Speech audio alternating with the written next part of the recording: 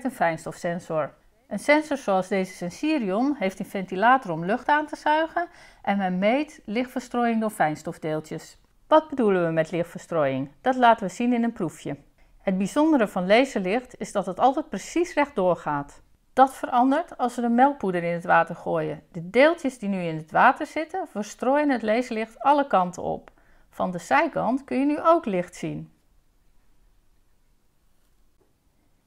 In de sensor zit een piepklein lasertje, een ventilator om lucht aan te zuigen en er zit ook nog een lichtdetector onder een hoek met de laserstraal.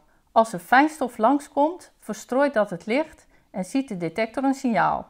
De sensor telt hoeveel deeltjes er langskomen en wat hun oppervlakte is. Dan weet je nog niet hoeveel massa die deeltjes hebben in microgrammen per kubieke meter aangezogen lucht. Met een microprocessor waar de fabrikant slimme software op heeft gezet, wordt het oppervlak omgerekend naar massa.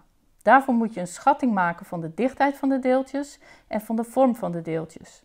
Een bolletje of een pannenkoek hebben een heel ander oppervlak. Hoe goed een sensor is, hangt dus af ook van de berekenmethode die erin gebakken zit. En dat is het geheim van de fabrikant. En al met al is het best knap dat je met zo'n klein apparaatje zo aardig fijnstof kunt meten.